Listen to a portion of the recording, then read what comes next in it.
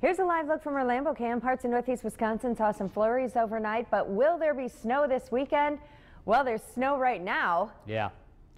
So what about tomorrow and the next day, Pete? Yeah, even a little bit more than flurries. We had some accumulated snow, not much, but a half inch in some locations. It could add up to an inch in other locations. So you can see Marinette, Oconto Falls, Suamico, Green Bay, Denmark, all the way back to Waupaca County, and now moving into Oshkosh. Some mainly light snow. There is a pocket of more moderate snow here from Denmark to Kewaunee.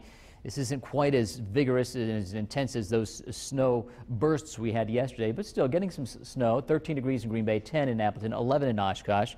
And the wind chills, because it is rather windy, 10, 15, 20 mile an hour winds. Three below as it feels like temperature in Appleton and Oshkosh. So here's how it'll break down. Mainly this will be a morning event with the snow showers and some slippery roads. Could add up to an inch of accumulation at 10 o'clock, 20 degrees. Still a small chance of a snow shower, but most of us will be cloudy and 23 at 3 o'clock. At 7 o'clock, 16.